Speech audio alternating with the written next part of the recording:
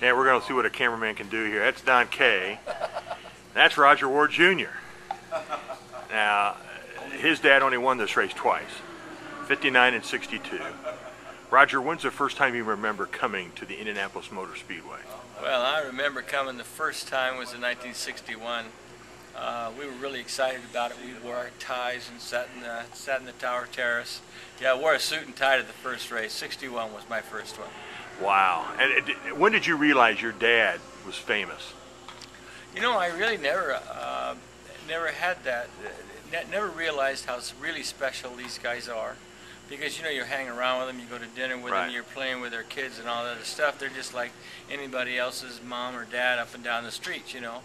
But of course, I think really I didn't realize what a what it really took to win this race until after uh, maybe about '66. Isn't that something? And that was uh, that was your dad's. No, your dad retired in yeah in '66. That was his it was his last race. Yeah, yeah, it really was. Were you surprised when your dad retired? I was actually in the military in Turkey when he did it, so it did come as a complete surprise to me. How did But you I- hear about it? Phone Uh, call, it was, newspaper. It was uh, it was uh, uh, announced. Uh, it was in the Armed Forces newspaper. Is the way I, I heard about it. Yeah, yeah. Oh my goodness. What did what was what did your dad tell you? I mean, at the victory banquet, just said he wasn't having fun anymore.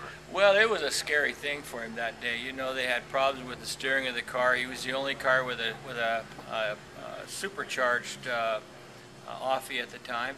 And when he'd get out of the throttle going down the back or down the end of the straightaway here, the thing would load up really good. And about the time he'd get the gas back on, the thing would go, "Uh, uh, uh," and then take off. And of course, about that time is when the steering issue was going on, and there was oil all over the racetrack. So he scared himself to death on every corner.